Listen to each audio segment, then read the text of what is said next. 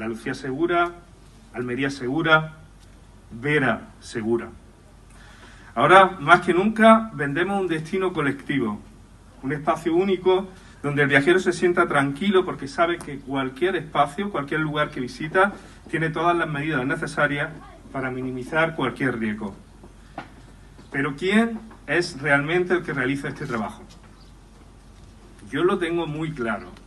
Las empresas, los profesionales, los trabajadores. Ellos son los protagonistas porque son los que abren los hoteles, restaurantes o inician cualquier actividad que esté relacionada con el turismo. Pero sobre todo son los que toman este tipo de decisiones, los que hacen posible que mi país vuelva a la normalidad. La realidad es que no sé si es una realidad nueva, vieja, pero realidad, la que nos toca vivir en este momento.